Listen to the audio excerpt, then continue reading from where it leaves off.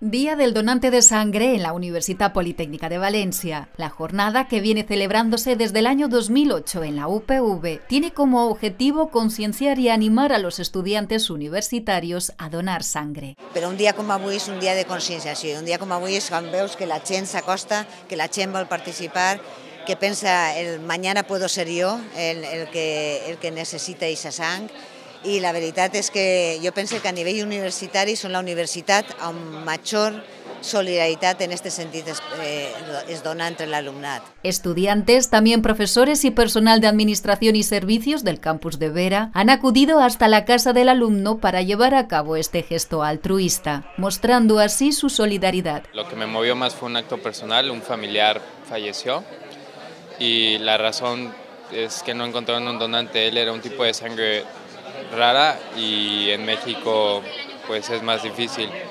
Yo había visto varias campañas de donar, pero nunca me había hecho tiempo. Solo gracias a la generosidad de los donantes se cubren las necesidades de sangre en los hospitales. En el sistema sanitario valenciano, por ejemplo, son necesarias cerca de 700 unidades al día. Con la finalidad de cubrirlas, desde el Centro de Transfusión de la Comunidad Valenciana se llevan a cabo diferentes campañas, entre ellas la que realizan en los campus universitarios, intentando consolidar y sobre todo incrementar la cifra de donantes.